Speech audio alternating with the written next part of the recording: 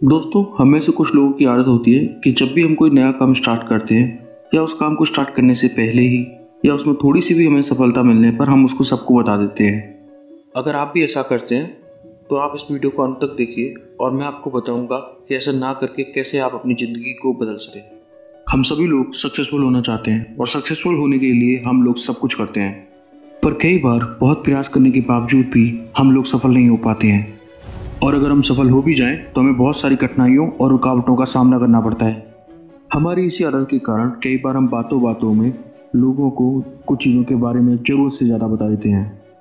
तो ऐसा सुनकर लोग आपके सामने आपकी थोड़ी बहुत तारीफ़ भी कर दें, पर वास्तविकता में आप ऐसा करके अपना बहुत बड़ा नुकसान करते हैं। हो सकता है जिन लोगों को आप सब कुछ बता रहे हैं, वो पीठ पीछे आपका मज़ाक उड़ाएँ, या वो सब कुछ करें जिससे आप सफल नहीं हो पाएँ। याद रखिए, आपकी असली सफलता तभी है जब आप वास्तविकता में सफल हों और लोग आपकी तारीफ़ आपके बिना बताए करें। सक्सेस होने का सबसे बड़ा रूल ये है कि हम लोगों को ज़्यादा से ज़्यादा सुने और अपने बारे में कम से कम बोलें।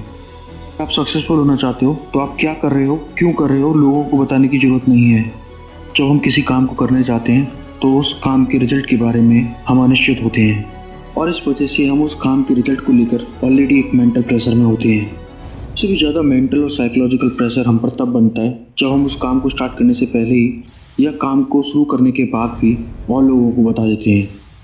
सफल होने के लिए सबसे ज़रूरी चीज़ है आपका अपने काम पर बिना किसी प्रेशर के या दबाव के फोकस करना। आप अपने गोल पर हंड्रेड परसेंट फोकस तभी कर सकते हैं जब आप उस काम को करने के दौरान कम से कम डिस्ट्रैक्टेड हो।